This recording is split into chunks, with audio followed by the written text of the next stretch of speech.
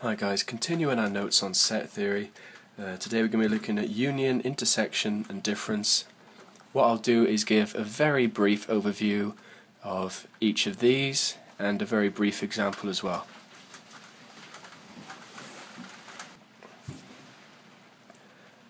Intersection. A intersect B and notice this isn't an N, it's uh, the sign for intersect, intersection. A intersect B, it's called the intersection.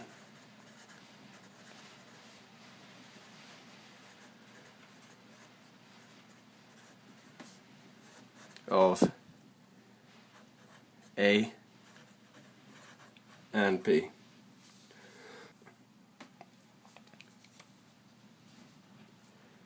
Uh, we can write a intersect B is equal to set X such that X is an element of A and X is an element of set B as well. A quick example. So say we have uh, set 2, 4 and 6 as elements uh, and we want to see the intersect of this set with another set with elements 4, 5 and 6. The answer is the set 4, 6. Why is that? Well, what elements are in set A and set B? Uh, 4 and 6 occur here and here.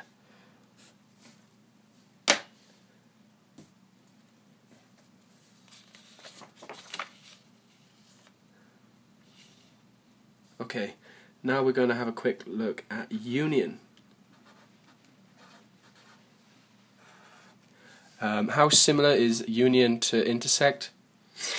Uh, quite similar, and in fact they occur in many theories together. Uh, union, we write A union B. Again, it's almost like a, uh, a flip of the intersect. Is called the Union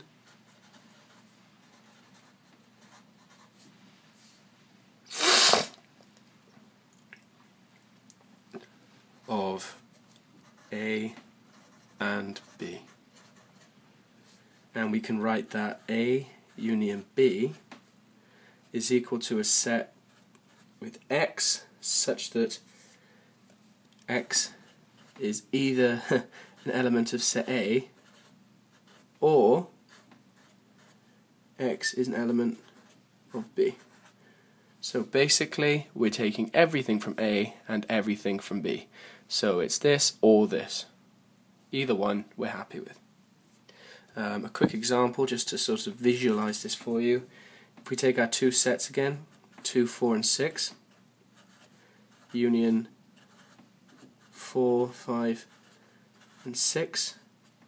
Well, we can write them all down. Obviously, there's no need to um, include uh, sort of multiple versions of the same number.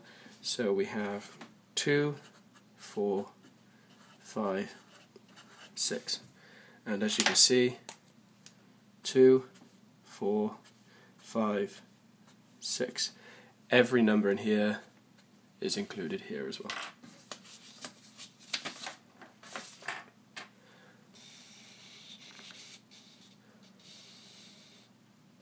Finally, we're going to finish on the difference.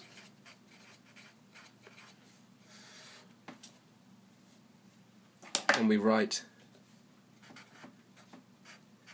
difference B is called the difference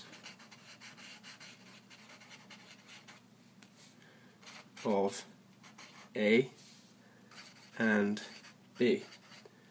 Now, one trick to be careful of is which order you write these two in, and that'll be clear when I write the sort of visualization process. So A difference B is equal to a set with x such that x is an element of A and x is not an element of B. So what does this mean? Well, if I give you an example, and we have our same sets again, 2, 4 and 6, uh, 4, 5 and 6, the answer is 2. Well, why is the answer 2? Well, notice that 2 is the only element that doesn't occur in this set here because, of course, we have 4 here and we have 6 here.